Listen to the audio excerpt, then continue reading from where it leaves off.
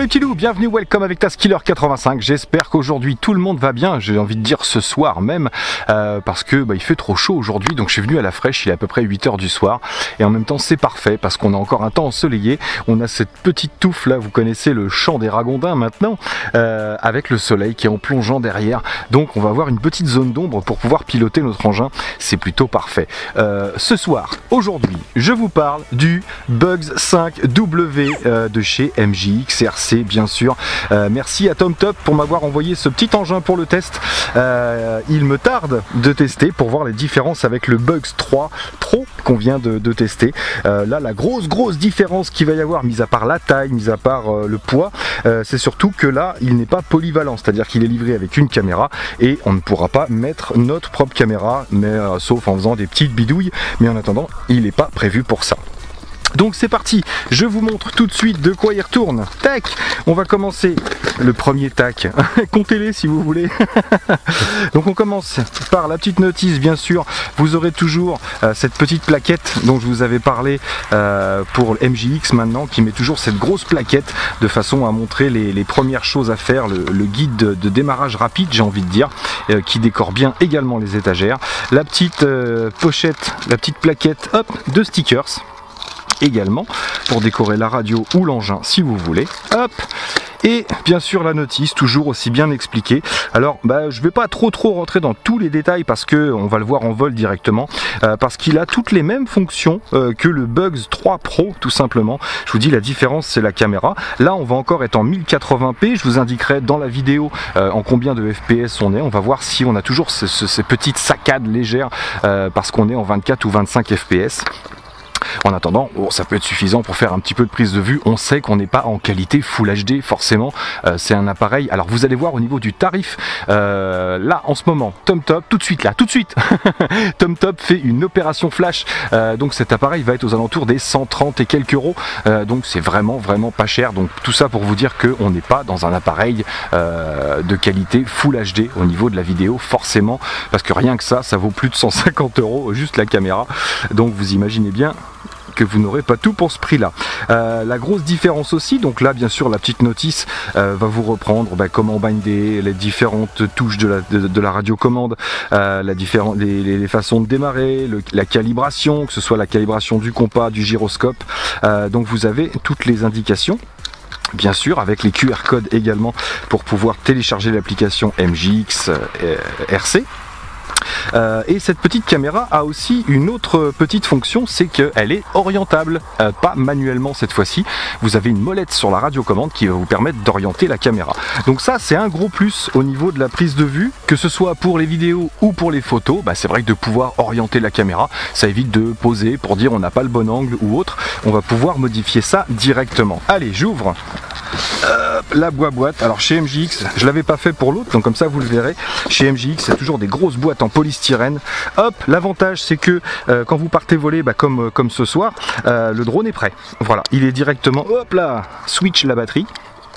Il est tout prêt avec la, caméra montée dessus. Donc je vais tout de suite vous montrer les particularités de cet appareil. Alors déjà hyper design.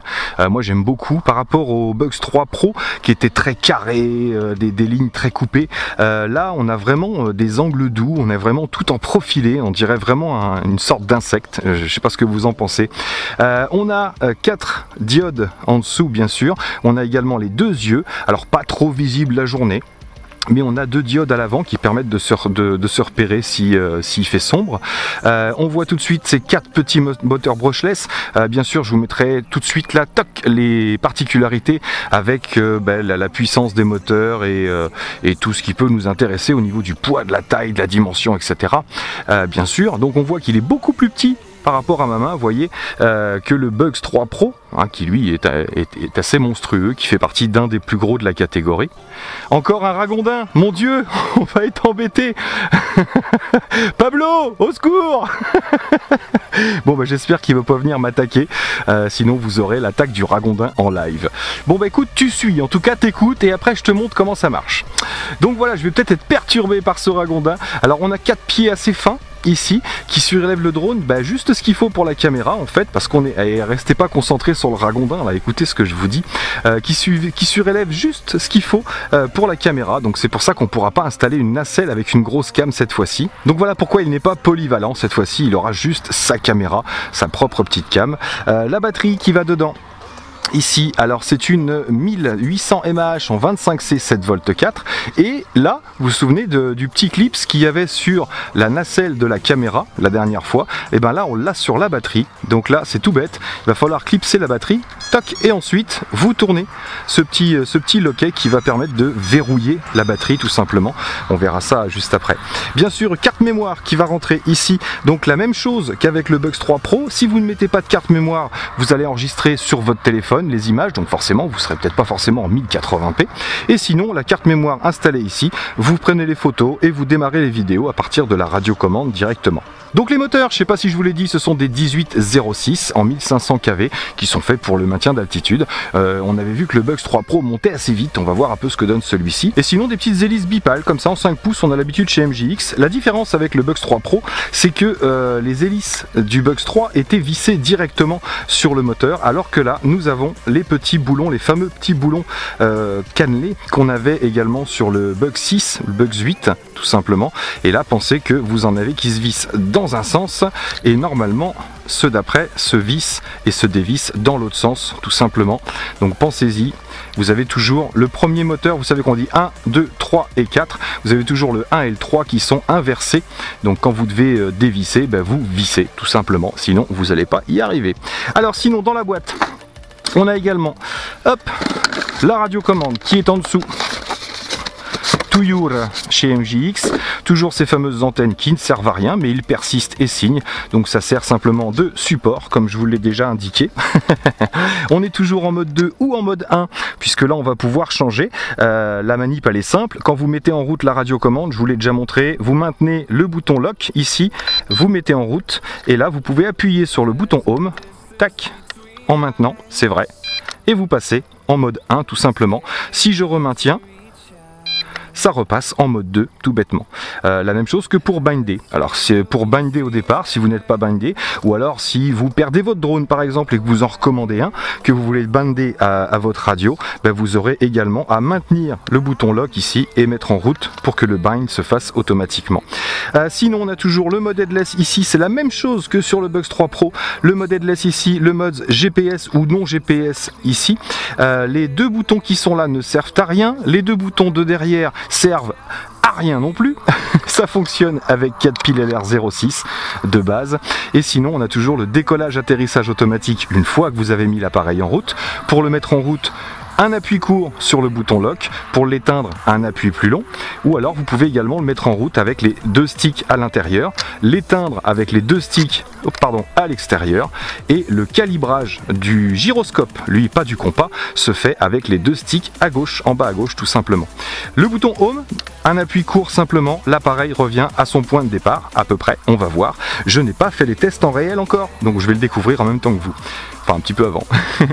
le bouton photo vidéo, un appui court, une photo, un maintien, un double bip et là vous lancez la vidéo. Pareil pour l'arrêter, vous maintenez et ça va arrêter la vidéo.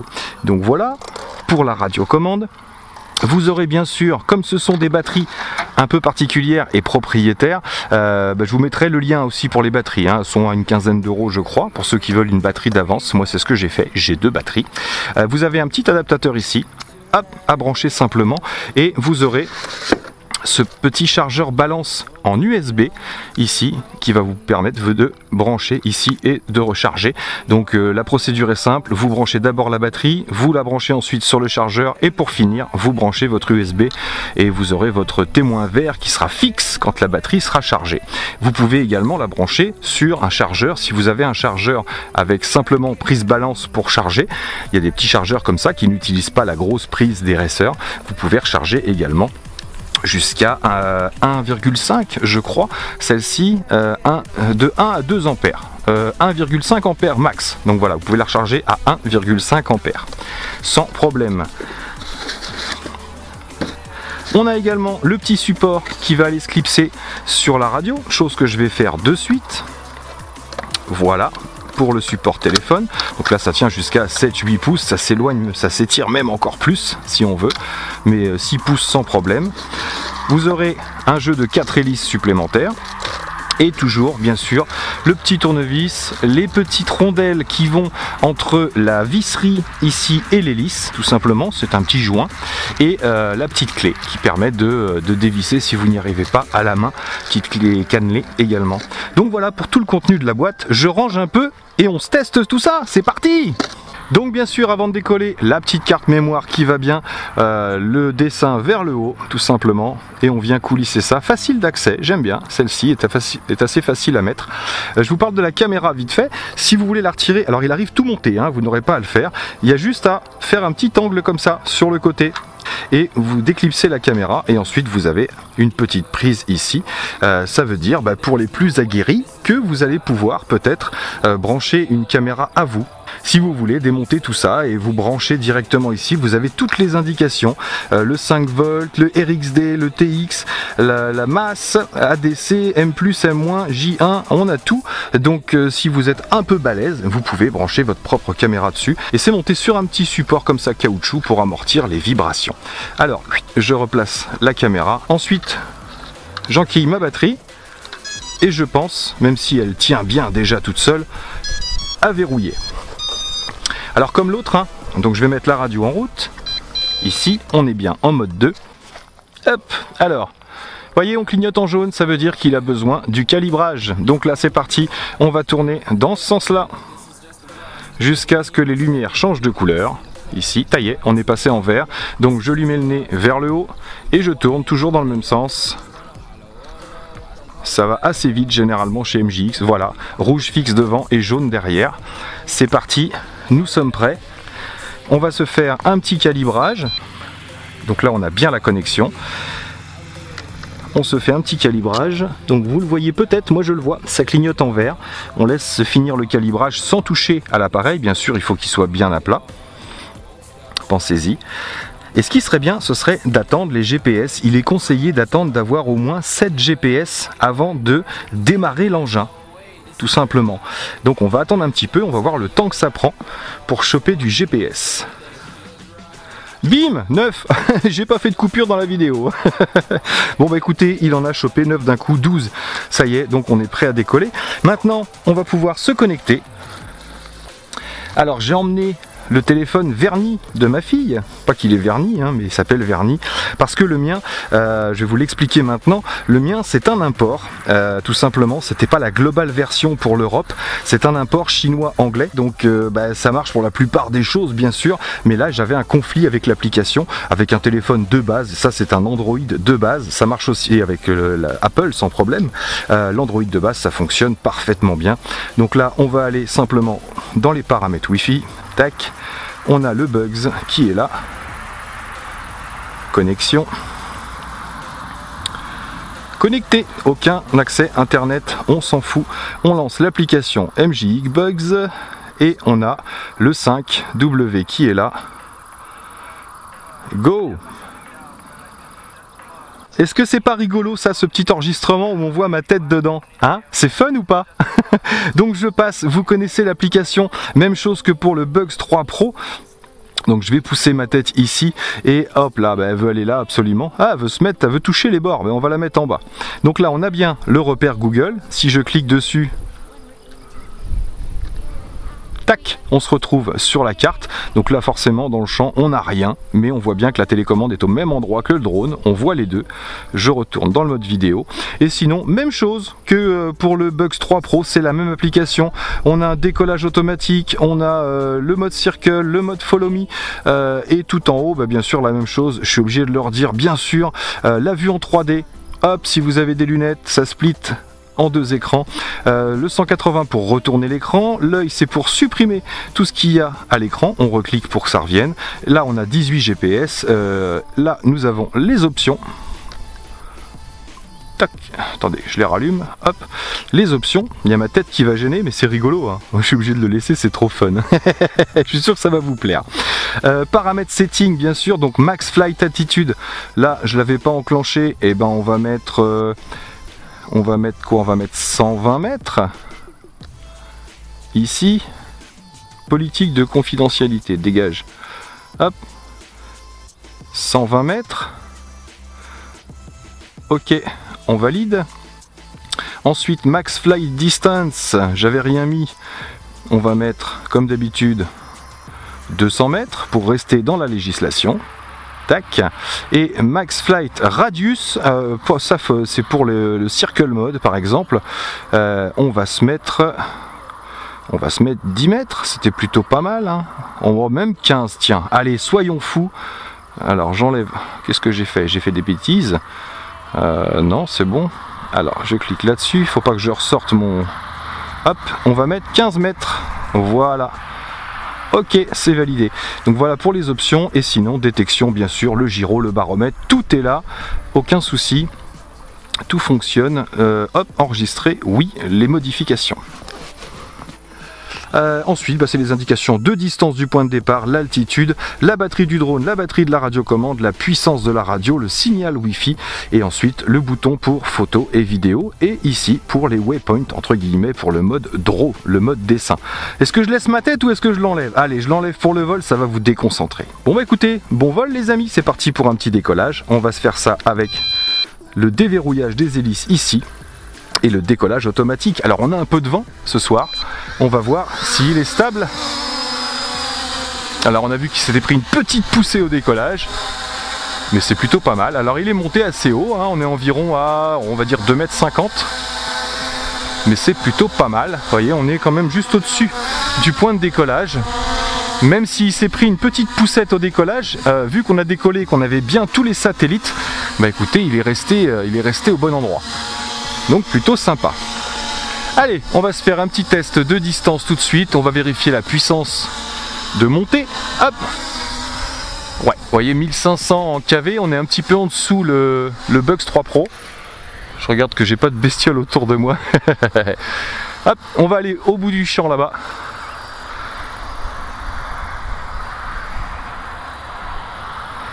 Je vous l'ai pas montré, hein. elle est là la petite molette pour orienter la caméra, vous allez voir. Donc on va prendre un peu d'altitude. On est à combien Là? On est à 8 mètres. Tac. Voilà, ça monte plutôt pas mal. 20. Allez, je pousse à fond en montée. 27, 28. Voilà, bon on est pas mal. Allez, on est à 30 mètres. C'est pas la peine d'aller à 100 mètres de haut non plus. Et je pousse en avant. Donc on a quelques petites saccades sur l'écran, vous le verrez comme moi, ça c'est sûr. Ah j'ai même une belle saccade là. Là j'ai mon écran qui est fixe, vous voyez je ne vois plus. Je vais le faire tourner un peu, je vais faire une rotation. Ah ça y est, on a ah, récupéré un petit peu. Aircraft not connected. Ah bah oui, j'aimerais bien voir ça moi. Alors décalage à gauche. Donc je dirige bien la radio vers l'engin. Hein. Ça y est, on a récupéré la connexion. Donc là, je vais m'orienter. Hop, je vais pousser un petit peu plus loin. Je suis toujours en marche avant. Ouais. On est à 80 mètres. Donc là, je vais remonter. Je vais voir s'il y a toujours la connexion. le problème, c'est que j'ai ma caméra qui bug. Qui est en fixe. Pas bon, ça, champignon. Ça y est. Je vais remonter la caméra, donc avec la molette, ici. Ça, j'aurais dû le faire de plus près, hein, parce que là, je suis un peu loin. Donc là, j'ai remonté la caméra au max. Ah, écoutez, voilà, là, j'ai perdu la, connexion. Enfin non, j'ai toujours la connexion avec le drone, mais j'ai plus les images. Donc je suis un petit peu loin pour lui. Pourtant, je suis qu'à 100 mètres de distance. Mais il a tendance à, vraiment, vraiment saccader au niveau des images. Je pense qu'on avait une meilleure portée euh, Wi-Fi avec le Bugs 3 Pro.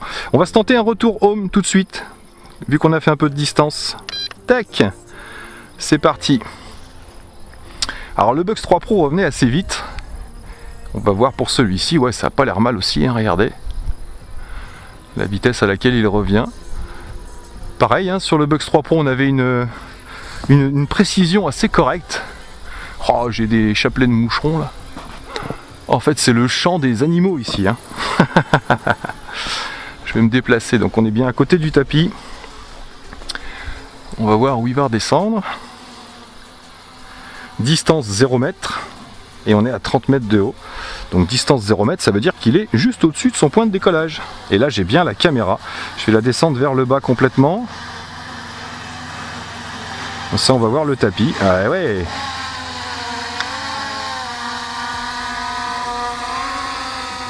Bien, il faut penser à remonter la caméra quand... Oh non, ça va, elle ne touche pas.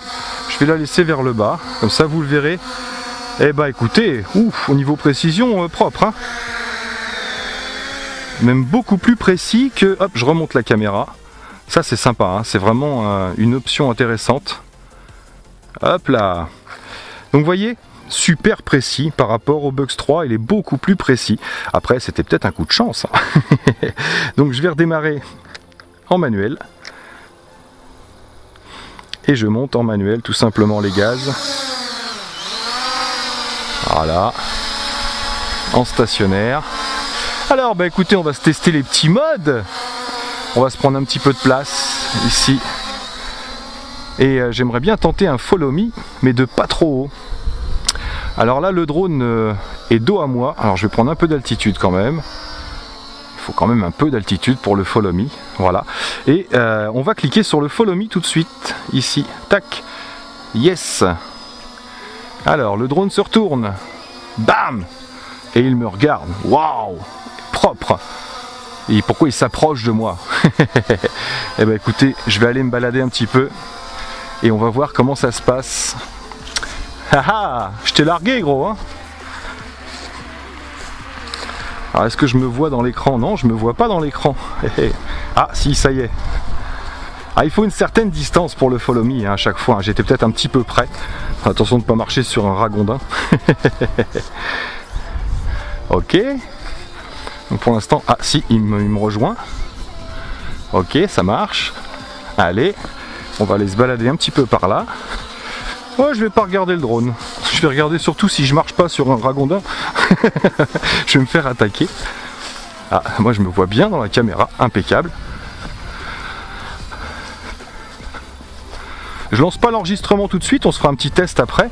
Là pour l'instant je teste le, le follow me. Tiens, on va aller par là. Ça changera. Là je m'éloigne de lui. On va voir s'il va être décidé à me rejoindre. Apparemment oui, je vois des petites secousses sur l'écran, ça veut dire qu'il avance.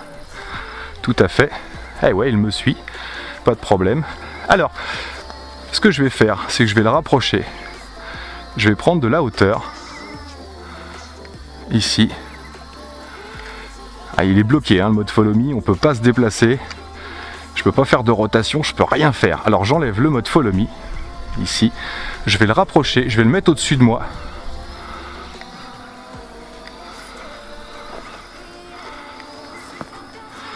Eh mais je suis en mode headless. Vous le croyez ça que je suis en mode headless?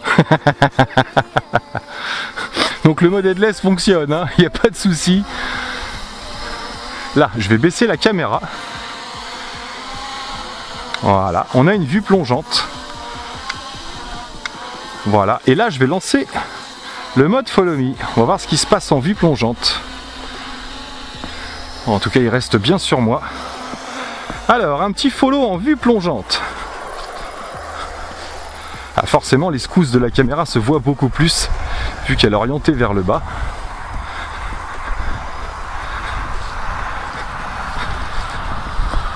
Alors, tu me suis gros? Ah écoutez, je me vois. Hein pas de souci.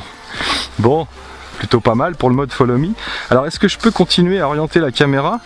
Là, je vais la remonter un peu. Ouais. Ouais, plutôt sympa ça marche. Allez, j'arrête le mode follow me. Tac, je vais lancer la vidéo. Donc là, je dois être en mode photo. Tiens, on va se prendre une petite photo. Là, avec le bouton ici. Ok, la photo est prise. C'est parti, je lance la vidéo, je maintiens le bouton photo. Tac, double bip et c'est parti, le chronomètre est lancé. Alors on va se faire un petit circle. Mais pour le petit circle, j'ai envie d'être plus bas que ça. Voilà, je vais pas me mettre à une grosse altitude. Voilà, on est à peu près à 3 mètres de haut. Je vais remonter la caméra. Là, et je lance le mode circle. Alors non, ça c'était pour lancer ma, tête. Ça c'est des options sur, euh, sur ma capture de vidéo. Ah oui, c'est des options pour faire des ronds, vous voyez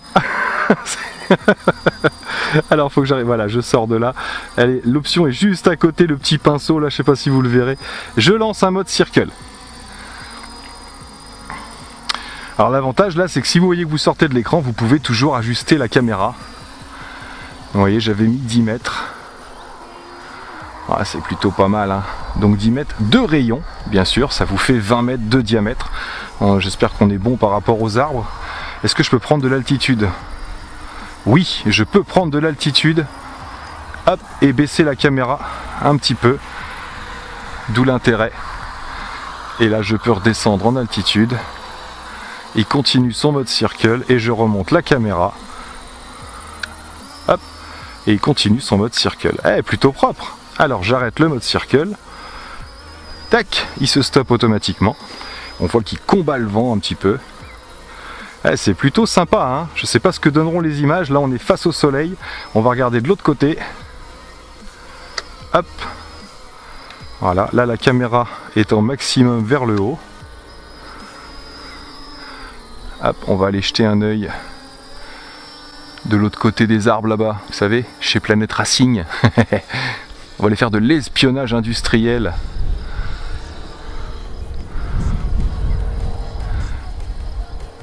Alors aucune peur, hein, parce que s'il a les mêmes options que le Bugs 3 Pro, en cas de fin de batterie, il reviendra.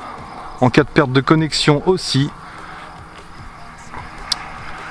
Voilà, on va prendre de l'altitude.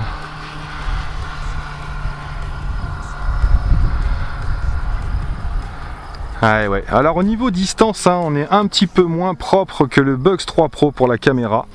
Euh, moi j'ai tendance à lâcher un petit peu. Donc ça va, j'enregistre. Donc là sur la vidéo, il n'y aura pas de coupure, je pense, puisque ça enregistre dans la carte mémoire. Mais moi sur le retour du téléphone, j'ai quelques coupures quand même. Donc là, on peut baisser un peu la caméra, mais j'ai pas le retour tout de suite. Donc j'attends un peu. Ah, ah là j'ai du blanc là. Là il neige là. Alors je vais reculer un petit peu pour le ramener. Voilà. J'ai récupéré la vidéo. Ah là c'est joli. Alors c'est pas droit parce qu'il combat le vent. Alors si je me tourne un petit peu, je vais changer l'orientation du drone. Parce que forcément en combattant le vent il se met de travers. Ouais, le retour vidéo n'est pas fait pour travailler euh, vraiment à distance. Vous voyez là j'ai réussi à, me mettre dos au vent. Ça veut dire que là, on n'a plus l'horizon qui est de travers. Donc là je peux baisser un peu la caméra, ici. Voilà, on va venir fixer sur moi. Je vais remonter un petit peu. Hop. On verra ce que donnent un petit peu les, photos. Cette distance-là. Je vais en prendre une petite. Tac. Et on va se refaire un petit retour home maintenant. Donc je vais stopper la caméra, on, aura vu ce que ça donne. Voilà. Et on va se lancer un petit retour home tout simplement. Donc soit de l'application, soit de la radiocommande ici. Tac Hop, et on voit que ça s'allume automatiquement en vert sur l'application. Ouais, pas mal de pertes euh, de connexion, pas au niveau de la radiocommande, puisqu'on a une bonne portée. Hein. Ah, ben là il se met à biper parce qu'on arrive à la moitié, on a dépassé la moitié de la batterie. Oh, le retour home est vraiment rapide. Oh, il y a plein de moucherons, ça c'est chiant. Donc normalement vous aurez plus les bruits du vent. Tiens, je vais vous mettre... Euh, la petite caméra. Normalement, vous aurez plus les, bruits, les petits bruits du vent parce que j'ai investi, appareil photo, tac, dans une petite mousse. Vous avez vu là, une petite truc à poil. C'est cool.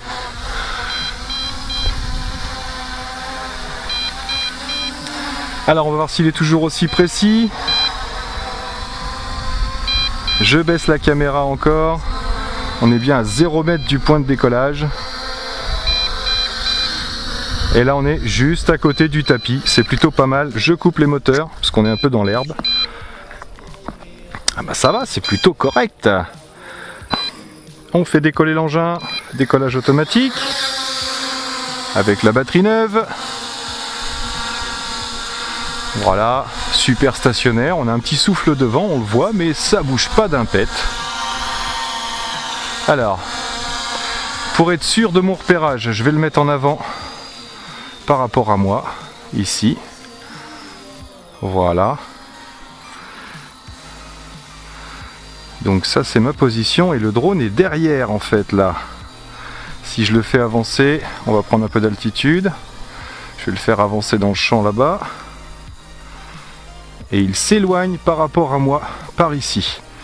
D'accord, donc l'avant. Alors je peux pas faire quelque chose qui fait que ça le remet droit. Est-ce que je peux faire tourner la map?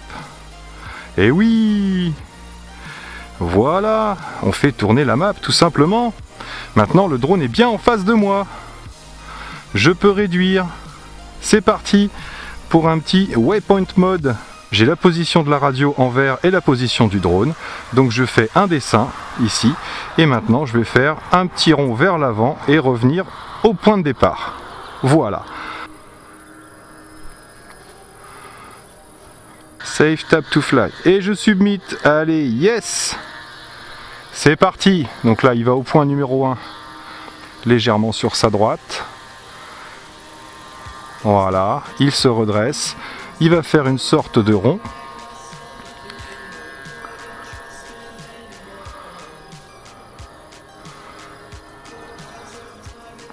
Ah, il fait bien ce que je lui ai demandé et normalement il devrait revenir vers nous puisque je l'ai fait revenir euh, au point de la radiocommande.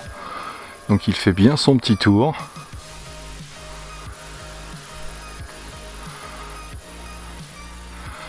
si je remets la caméra, tac, je suis revenu mon petit drone. Donc il est, il est bien revenu en place à la position que je lui avais demandé, c'est plutôt pas mal.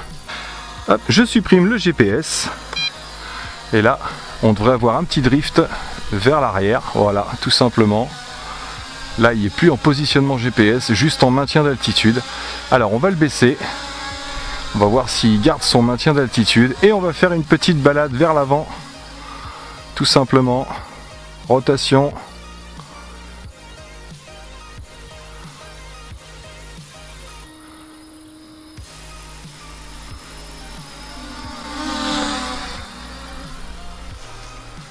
bah écoutez, le maintien est plutôt bon, même meilleur qu'avec le Bugs 3 Pro.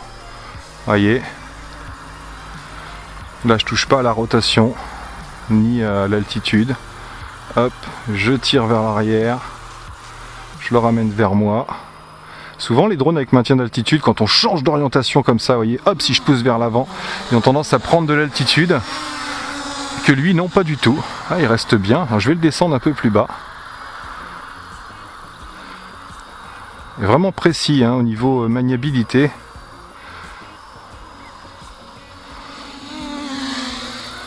Alors attention aux arbres un pépère. je fais une légère rotation. Même en restant près du sol. Je baisse encore. Je suis un fou, je suis un malade. Alors attention là parce qu'il y a du buisson. très bon maintien d'altitude. Parfait. Vraiment parfait. Alors il y a un truc que j'avais pas testé la dernière fois. C'est qu'est-ce qui se passe si j'éteins la radiocommande Eh ouais, grande question. Je vais le mettre sur du blanc. Hop, qu'on le voit quand même parce que ça euh, j'ai pas testé. Je vais tester le retour home alors que j'ai désactivé le GPS. Ici. Ah si ça marche, regardez, il prend de l'altitude pour revenir. Donc je vais pouvoir stopper le retour home, ouais, et il revient. Donc le retour home fonctionne parfaitement même quand vous avez désactivé le GPS. La seule chose c'est que vous n'avez plus les, arrêts euh, du mode GPS, vous avez le petit drift tout simplement parce que vous avez désactivé le GPS. Alors maintenant je voudrais savoir ce qui se passe si je désactive la télécommande si je désactive la radiocommande, pardon, hop, on va le savoir tout de suite. Par contre, je vais passer en mode GPS de façon à ce qu'il soit statique, quand même. Voilà. Et je vais éteindre la radio. C'est parti. Tac, la radio est éteinte. Alors, que va-t-il se passer? Ah, il prend un peu d'altitude. Alors, soit il part sur la Lune, soit il fait du retour home.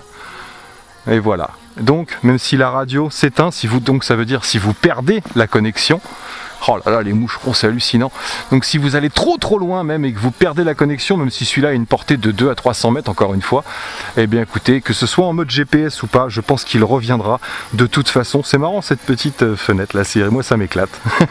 ça me fait marrer. Donc le revoilà, on va s'arrêter là pour aujourd'hui, parce qu'il commence à faire sombre. Hop, cette petite pause environ à 2,50 m.